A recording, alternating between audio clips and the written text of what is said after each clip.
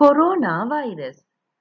Covid பத்தொன்பது எனப்படும் corona virus சீனாவில் உஹான் மாநிலத்தில் தோன்றி இன்று உலக நாடுகள் அனைந்திலும் பரவிவிட்டது. இவ்வைரஸ் அதிகமானவர்கள் இறந்துள்ளதாகவும் எட்டு லட்சத்திற்கும் மேற்பெற்றோர் பாதிப்படைந்து உள்ளதாகவும் புள்ளி விபரவியல் தகவல் கூறுகிறது. கொரோனா எனப்படும் நுண்ணுயிரி உயிர்கொல்லி நோயை ஏற்படுத்தும் தன்மை கொண்டது. சாதாரண சளியில் ஆரம்பித்து நிமோனியா போன்ற தீவிர நோய்கள் ஏற்பட்டு இறுதியில் மரணம் ஏற்படும். மெலிதான காய்ச்சலுடன் ஆரம்பித்து இருமல் மூச்சுத் திணறல் தொண்டை வீங்குதல் உணவை விழுங்குவதில் சிரமம் ஏற்பட்டு நிமோனியா எனப்படும் விஷக்காய்ச்சல் ஏற்படக்கூடும். நுரையீரல் நோயும் ஏற்படக்கூடும்.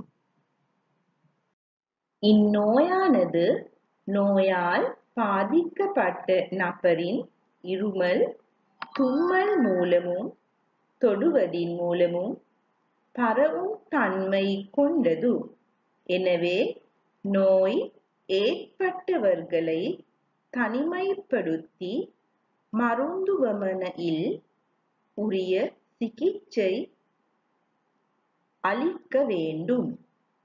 நோய் ஏற்படாது தற்காத்து கொள்ள அடிக்கடி கைகளை கிருமிநாசினி சோம்பினால் கழிவு வேண்டும். உடற்சுத்தம் உணவு சுத்தம் போனப்பட வேண்டும். நன்கு காய்ச்சி வடிகடிய நீரை அருந்த வேண்டும். மாமிச உணவுகளை நன்றாக வேக வைத்து உண்ண வேண்டும்.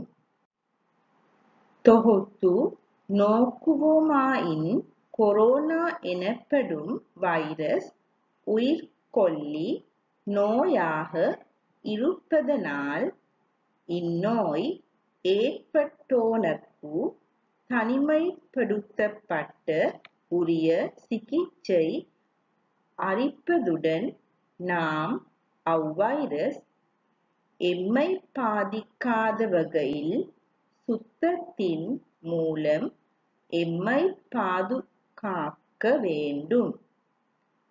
மருதினை இன்னும் கண்டுபிடிக்காது.